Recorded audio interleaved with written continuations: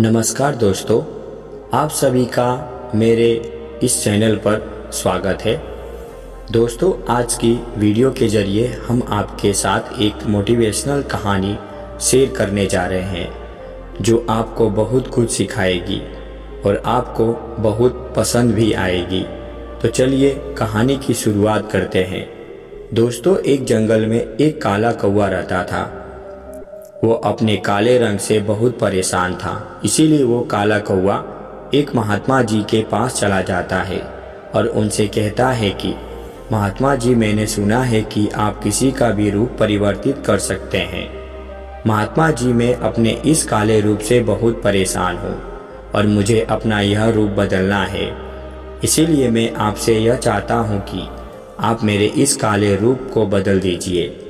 उस काले कौवे की यह सब बातें सुनने के बाद महात्मा जी उससे कहते हैं कि, आखिर तुम्हें दिक्कत क्या है? फिर वो काला कौवा अपने दुख को बताते हुए महात्मा जी से कहता है, महात्मा जी, मैं काले रंग का हूँ और इसीलिए मुझे काले रंग से घिन आने लगी है, क्योंकि लोग मुझे देखते ही उड़ा देते हैं और अपने नज़रों के सामने रखना पसंद नहीं करते। कभी आपने देखा है कि किसी इंसान ने मुझे लाड प्यार से अपने घर में रखा है, इसीलिए मुझे बदलना है। फिर महात्मा जी उससे कहते हैं कि, ठीक है, मैं तुम्हारे इस काले रूप को नए रूप में परिवर्तित कर दूँगा। लेकिन उससे पहले तुम मुझे यह बताओ कि तुम किसकी तरह बनना चाहते हो? कौए ने कहा कि, मुझे हंस बनना है। फिर महात्मा जी ने कहा, इतनी सी बात अभी बना देता हूँ। लेकिन हंस जैसा बनने से पहले यह चाहता हूँ कि तुम हंस से एक बार मिलकर के आओ और उससे तुम पूछ लो कि क्या वो खुश है। कौए ने कहा कि बात तो सही है और वो कौआ उड़ते हुए उस हंस के पास चला गया और उससे कहा कि, मेरे मित्र हंस, मैंने यह सुना है कि आप बहुत खुश हैं क्योंकि आपका रंग सफ़ेद है।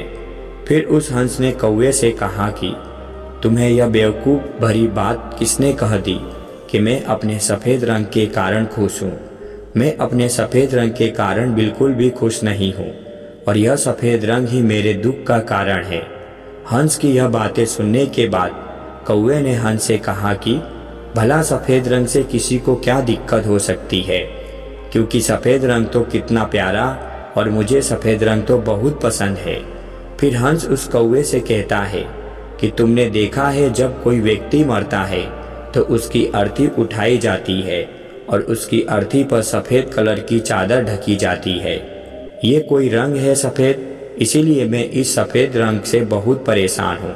इसीलिए अगर मुझे कभी अपना स्वरूप बदलने का मौका मिल जाए तो मैं अपने रूप को अवश्य बदल दूँगा। फिर उस कौवे ने उस हंस से कहा कि, अरे वाह, आप भी अपना रूप बदलना चाहते हैं। तो आप मेरे साथ चलिए। एक महात्मा जी के पास, जो किसी के भी रूप को परिवर्तित कर सकते हैं। लेकिन वैसे आप बनना क्या चाहते हैं? फिर उस हंस ने कौवे से कहा कि मैं तोता बनना चाहता हूँ, क्योंकि तोते की लाल रंग की चोच और बाकी का शरीर हरे रंग का है। इसीलिए मैं तोता बनना चाहता हूँ। फिर वो दोनों उड़कर के उन महात्मा जी के पास चले गए। और उनसे कहा कि हम दोनों को तोते जैसा बना दीजिए। महात्मा जी ने उन दोनों से कहा कि तोते जैसा बनने से पहले एक तोते से मिलकर के आओ। उससे पूछो कि क्या वो हरे और लाल रंग के वजह से खुश है। फिर वो दोनों उड़कर के तोते के पास चले गए। पहले तो वो तोता उनको मिला नहीं, क्योंकि उस जगह पर बहुत ज़्यादा हरियाली थी। और उसमें हरे रंग का तोता ढूंढना उनके लिए बहुत मुश्किल हो गया था। बड़ी मुश्किल से एक तोता उनको मिल गया। फिर वो दोनों उस तोते की बहुत तारीफ़ करने लगे कि तुम बहुत अच्छे हो, क्योंकि तुम्हारे पास तो दो दो रंग है, इसीलिए तुम तो बहुत खुश रहते होगे और बहुत लोग तुम्हारी प्रशंसा भी करते हैं।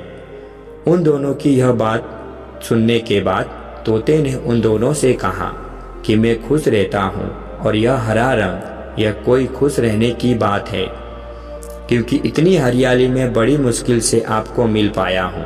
इसीलिए यह हरा रंग देखो, मुझे कितनी दिक्कत देता है और मैं कोई खुश भी नहीं हूँ, क्योंकि मेरे इस रूप के कारण ही लोग मुझे पकड़कर के अपने घर में ले जाते हैं और पिंजरों में कैद कर कर लेते हैं।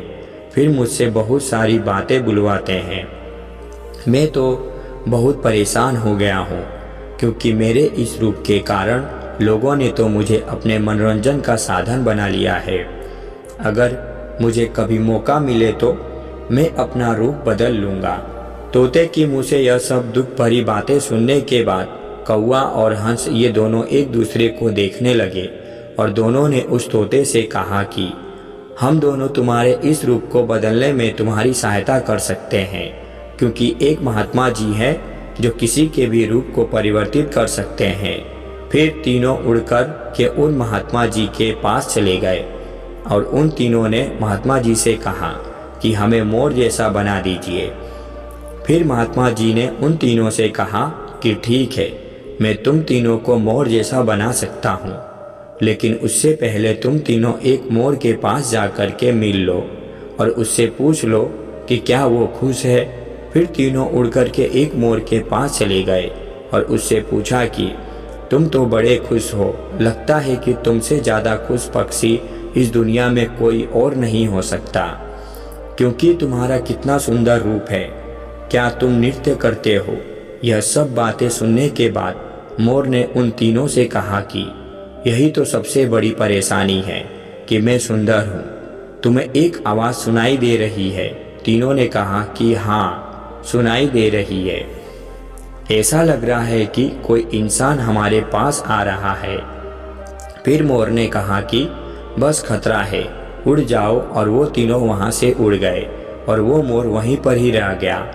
फिर उसके बाद एक तीर आया और आकर के उस मोर को लग गया और वो मोर छटपटाने लगा और वो मोर छटपटाते हुए तीनों से कहने लगा कि, सुन लो, जिस हाल में हो, उस हाल में ही खुश रहो।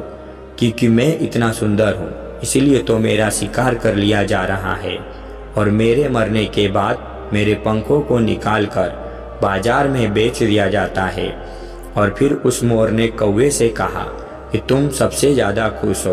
फिर कौवे ने कहा कि वो कैसे? मोर ने कौवे से कहा कि तुमने कभी सुना है कि कभी कोई इंसान कौवे को खा रहा है? इंसान मुर्गे के बच्चों को खा लेता है, लेकिन कौवे को कभी नहीं खाता।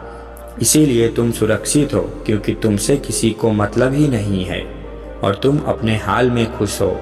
लेकिन दिक्कत यही है कि तुम अपनी तुलना दूसरों से करने लगते हो, और तुम दुखी हो जाते हो।